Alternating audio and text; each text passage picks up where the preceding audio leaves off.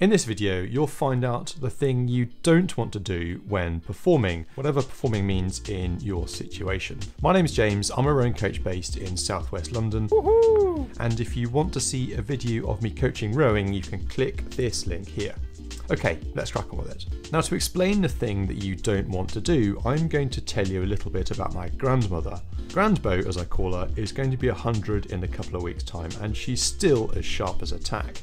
And as you can see from this picture, Grambo absolutely loves a cup of tea. In fact, I don't think I've seen Grambo drink anything other than tea when she's thirsty. Now when Grambo has a cup of tea, it has to be made in a proper teapot and served in a proper teacup with a saucer. Anyway, when I went to go and visit Grambo back when we were allowed to do things like that, I thought we should sit down and have a chat with a cup of tea.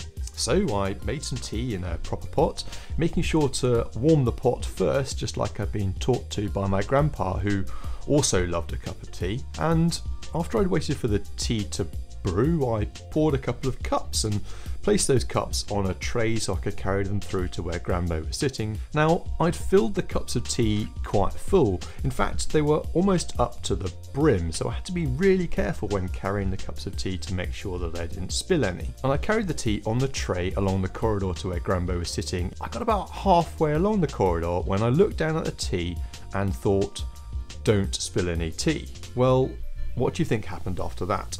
Yes, you're right, I started to shake, the cups and the saucers started to clatter and rattle, and tea went absolutely everywhere. I'm sure you've had the same experience. You've carried a tray of drinks, whether they were pints of beer or mojitos.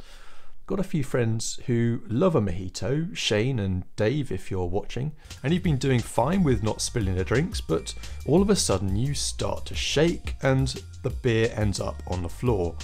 All the while, your mates are looking at you like you're a complete numpty as you've just spilt their drink. Now, here's the problem. As I told you, I looked down at the tray of tea and thought, don't spill the tea. And when you're performing, whatever that performance may be, it's the more primitive parts of your brain which are controlling your actions. And those primitive parts use images for those actions. Also, all those images are positive. It's not possible to have a negative action. Now, all the while, my thoughts of don't spill the tea came to me in words. Words are used by the much less primitive parts of the brain.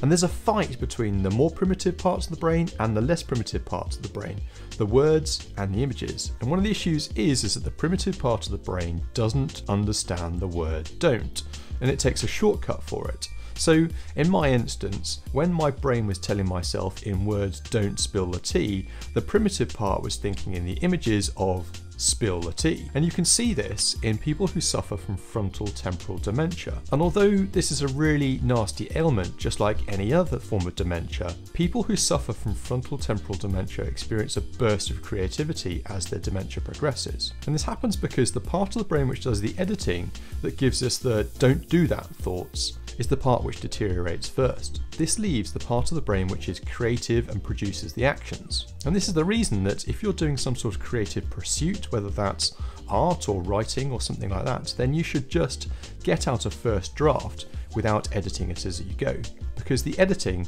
inhibits the action. So whilst you're producing a performance, whether that is in the arts or in sport, or simply just carrying some tea through to your grandmother, you should never edit your actions as you go. So don't think, don't. Thanks very much for watching, I will see you in the next video.